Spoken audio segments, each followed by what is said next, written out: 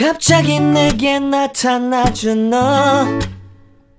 난 아무 말도 할 수가 없었지.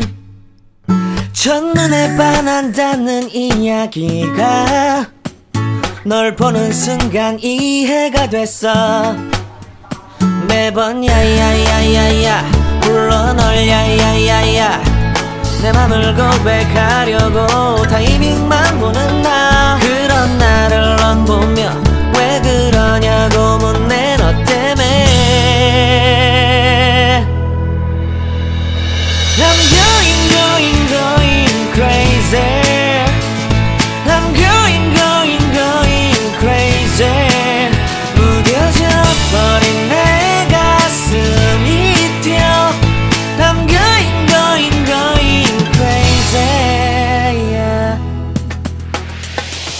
시간은 계속 흘러만 가고 기다리다 지쳐 그만 널 놓칠까봐.